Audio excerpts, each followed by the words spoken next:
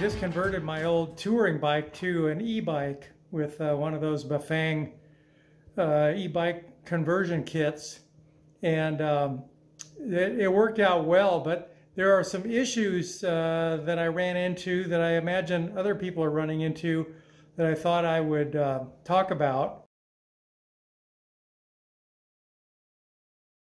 But one of the issues that I ran into here was uh, installing the motor onto this. Um, this is an old Specialized Hardrock mountain bike, 1998. So it's got a 73 millimeter bottom bracket, and that is the with the width of the bracket from side to side, 73 millimeters. And this kit will fit a bottom bracket of 68 to 73 millimeters. But if you've got a 73 millimeter bottom bracket, uh, you need to modify this just a little bit. Uh, what happens is uh, this this bracket here gets uh, held on by this uh, big nut here and it it is screwed to the motor to hold it in place top and bottom. But if you're if you've got a 73 millimeter bottom bracket it makes it just a little too wide. And so the screws or the, the bracket itself is held out away from the edge of the, uh, the motor mount here. So there's a, there's a space there. And I filled that space up with this nut. It's just a, a nut that I don't even know the size of it. I just made sure it was just a little bigger than the screw. And I could just slide the screw right through it and bolt this thing down uh, without having it bend this bracket in towards the frame here. So that's one of the modifications you'll do. And there's there's a in this kit they gave gave me washers to put in there to fill up that space. But I just thought a, a nut one nut was a little cleaner install. So I did that. And um, then on the bottom here, uh, you can see that there's a I've got the same thing. See, I've got the nut on the inside here.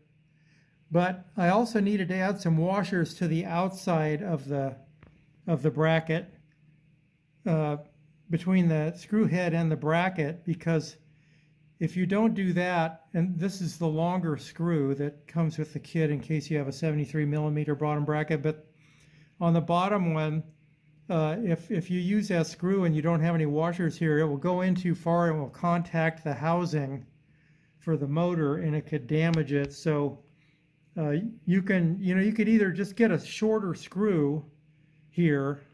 It has to be long enough to, you know, go through this space where the nut is, but short enough that it doesn't go in so far that it contacts the motor housing in here. But I just put these washers on there, a few of those, and, and that was enough to hold it out away from there. So that's one problem. Uh, pretty simple fix. And uh, another problem I had was mounting this battery.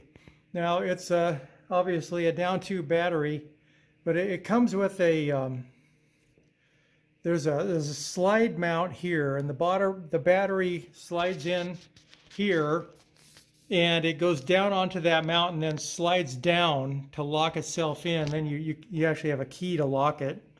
But um, that mount it, it's supposed to screw to your uh, frame with through the the uh, water bottle cage uh, screw holes. And the screw holes on this one are way down here. So here's the slide mount that the battery goes onto. And you can see that this is, these slots here are, you know, made for the screws to go through for the water bottle cage. But as you can see, those screw holes are way down here. So if I tried to move this down here to mount it on there, there's, I mean, I can't even do it because this, this will hit the seat tube and it, it won't allow me to go down that far. So, um, you know, they make these things sort of universally, uh, but, you know, because there's so many different sizes and types of bikes that it's really hard, I would imagine, for them to have a specific kind for each specific size and type of bike. So uh, you, you, you're going to have to make some modifications to this probably to fit your bike. And so that's what I had to do. And if you look in here, underneath this thing, you can see that I added this bar. And um, you can see the bar right up here underneath. And it's just about a half inch wide and it's 10 inches long.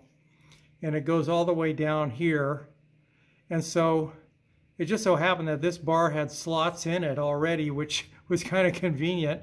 So I was able to just screw the lower part of the bar to the um, water bottle cage screw holes and mount it down there. And then on the upper part of the bar, I screwed or I drilled holes in the bar so to where I could run screws through it from the bottom up in order to mount the, in order to hold the uh, slide bracket in place uh, from further up here. So it worked out really well. Um, it holds it nicely, but one problem is that, as you can see, it's a little bit off the down tube now. It, it, it holds it up away from the down tube a bit, and that allows the battery to kind of wobble from side to side. So they know that wasn't good. So what I did for that is I got a couple of these uh, L brackets here, or you know they're no, they're known as uh, corner braces. These are two inch corner braces. And I just, uh, you know, used the screw for the water bottle cage on the seat tube to, you know, screw the ends together here. Uh, and then um, they each go off in this direction. And then I had to widen this just a little bit. I just bent it out a little bit and covered it with electrical tape so it wouldn't scratch the battery. But now the battery slides down right in between here, and it and this holds it really nicely uh, in a solid position so it doesn't wobble. And uh, that worked out really well too. So the, la the last thing I had a problem with was this uh, gear sensor. Um, these right here, this this is a gear sensor and it has the cable for the rear derailleur going right through the middle of it. And um, it uh, what it does is it shuts the motor down for just a just a split second while you're changing gears so that you know you have no power when it's going into a new gear and that way it doesn't slam it into gear and wear out your chain and, and cogs faster but all the videos I've seen to mount this thing uh, had it go through you, what you do is you cut out a piece of the casing for the for the, uh, the shifting cable uh, wide enough to, to, for this to go in the middle there. So then you have bare wire from one edge to the other going right through the middle of this gear sensor. And um, the problem I had was I had no casing on the on the chainstay between here and here. And that was really the only practical place for me to mount this thing. So what I did was I um, mounted one side of it right up against this uh, braze-on here that holds uh, the casing from the other side. And then I cut off a piece of casing that I had just laying around. And um, ran that up in, onto the other side. And then it's got a little seal that goes on the end of it and, and goes into the gear sensor. And that seal uh, keeps water out of it. And that was that was my main concern. If there's no no casing there or, or seal, then water's going to get in there and probably ruin it. So uh, so and then I just held those on with zip ties, and uh, it works really well. It um, no problem shifting at all. It shuts the motor down real nice. It makes the shifting real smooth, and uh, that worked out really nicely. So there really were no other issues uh, installing this thing, uh, except for, you know, there was extra cable or wires, you know, they, they come with kind of long wires because, you know, some people have big frames. And uh, so, you know, I just had to kind of wind that around like this one here. This comes up, this is the main wire that comes up and on the end plugs into the, the brake, uh, brake sensors that, you know, cuts the motor off when you're braking and also the display, the wire from the display, and also the uh, throttle throttle wire. They all they all plug into that one,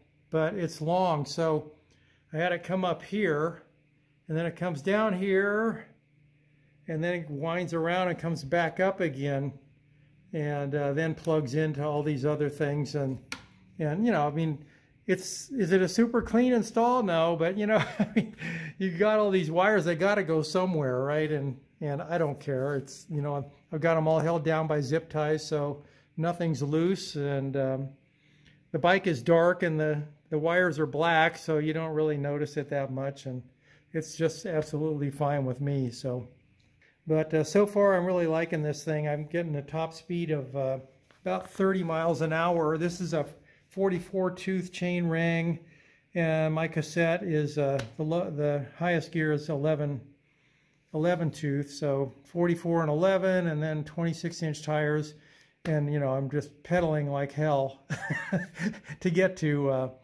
30 miles an hour.